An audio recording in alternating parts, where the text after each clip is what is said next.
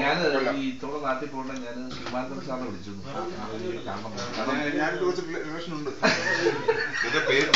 എന്റെ പേര് സാജിദ്. സാജിദ്. ആറാത്തുഴ എന്നാണ് പിന്നെ അൽപ്പാട് കൊണ്ട് ഒരു എന്താ പറയാ. കാൽപ്പാടല്ലേ കാത്തിപ്പള്ളിയാണ് കാത്തിപ്പള്ളിയാ proper അല്ലേ? സാറേ കാത്തിപ്പള്ളി എവിടെയാ? കാത്തിപ്പള്ളി എവിടെയാ? പാലസ് കാത്തിപ്പള്ളി അതാണ്. തറവാട് അല്ലേ? അച്ഛന്റെ അനന്തപുരം പാലസ് അല്ലേ? കാത്തിപ്പള്ളി പാലസ് മറ്റേ ആ കോർണർ റൈറ്റ് സൈഡിൽ ക്ഷേത്രമൊക്കെ അതില്ലേ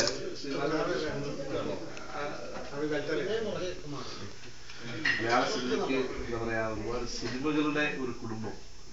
ഈ മലയാള സിനിമകളുടെ നൂറ് വർഷം ആഘോഷിച്ച ഒരു സമയത്ത് അതിൽ ശ്രീകുമാര തമ്പിയെ പോലുള്ള പ്രഗത്ഭരെയൊക്കെ വിളിക്കാതെ പോയൊരു വിവാഹം ഉണ്ടായിരുന്നു അല്ലേ? ക്ഷണിക്കാതെ പോയൊരു വിവാഹം.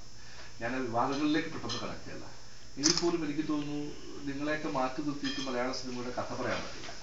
അല്ലെങ്കിൽ ചരിത്രം പറയാൻ പറ്റില്ല. എന്താണ് അങ്ങനെ ഒന്ന് സംഭവിച്ചത് ഇത് ഓരോ കാലത്തും ഓരോ സംഘടിപ്പിക്കുന്ന സംഘാടകരുടെ പ്രശ്നമാണ് അതിന് ഏറ്റവും ലേറ്റസ്റ്റ് ഉദാഹരണം ഞാൻ പറയാം. ഇപ്പൊ ഐ എഫ് കെയുടെ ട്രിവാൻഡ്രത്ത് നടന്ന ഇപ്പോഴത്തെ നമ്മുടെ ഫിലിം ഫെസ്റ്റിവൽ നടന്നല്ലോ? ആ ഫെസ്റ്റിവലിനോടനുബന്ധിച്ച് മലയാളത്തിലെ എല്ലാ എല്ലാ ടെക്നീഷ്യൻസും മലയാളത്തിലെ മലയാളികൾ ഒരുപാട് ഇഷ്ടപ്പെടുന്ന ഒരു സംവിധായകനാണ് കെ ജി അദ്ദേഹം ചെയ്ത ഓരോ സിനിമകളും ഓരോ നാഴികക്കല്ലുകളും അദ്ദേഹത്തിനൊരു എന്താ പറയാ ആദരിക്കൽ ചടങ്ങ് അവിടെ നടന്നു അത് നമ്മൾ ഈ സദ്യ കൊടുത്തതിന് ശേഷം മെയിൻ ആൾക്കാർ കഴിച്ചതിന് ശേഷം ബാക്കി വരുന്നത് നമ്മൾ ബാക്കി അവിടുത്തെ ബാല്യക്കാർ കഴിക്കില്ല? അതായിരുന്നു അദ്ദേഹത്തിന് കൊടുത്ത സ്വീകരണം. കാരണം ഐ എഫ് കെയൊക്കെ ലാസ്റ്റ് ഫിനിഷിംഗ് മേള അതായത് എന്റെ സമാപന സമ്മേളനം കഴിഞ്ഞിട്ട് അദ്ദേഹം അവിടെ ഉണ്ടെങ്കിലും ഇത്രയും പ്രഗത്ഭനായ വ്യക്തിക്ക് സ്റ്റേജിൽ സീറ്റ് കൊടുക്കാതെ നേരത്തെ അറിയിച്ചിട്ടില്ല എന്നുള്ളതാണ് അദ്ദേഹത്തെ അദ്ദേഹത്തിന് സ്റ്റേജ് സീറ്റ് കൊടുക്കാതെ ഫംഗ്ഷൻ കഴിഞ്ഞിട്ട് അദ്ദേഹം അദ്ദേഹത്തിന്റെ അത്ര പോലും പ്രഗത്ഭനല്ലാത്ത ഒരാളാണ് ആദരിക്കപ്പെട്ടത്. സംവിധായകൻ സംവിധായകൻ ആദരിക്കപ്പെട്ടത്. അത് കെ ജോർജിനോളം പ്രകല്പനായിരുന്നില്ല അത് പോട്ടെ. അതൊക്കെ ഓരോരുത്തർ അത് പ്രകല്പി നമ്മൾ അളക്കാൻ പറ്റില്ല.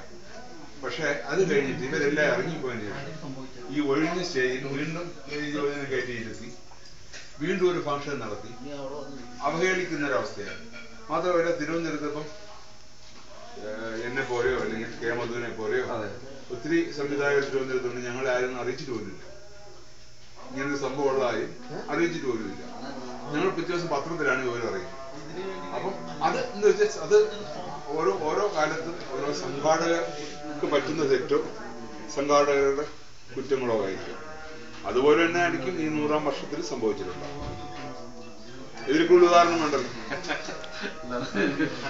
ഞാൻ ആ ചോദ്യം എനിക്ക് തോന്നുന്നു ഞാൻ ഈ മലയാള സിനിമയിൽ വന്ന ദൈത്യം ബാക്കിയുണ്ടോ?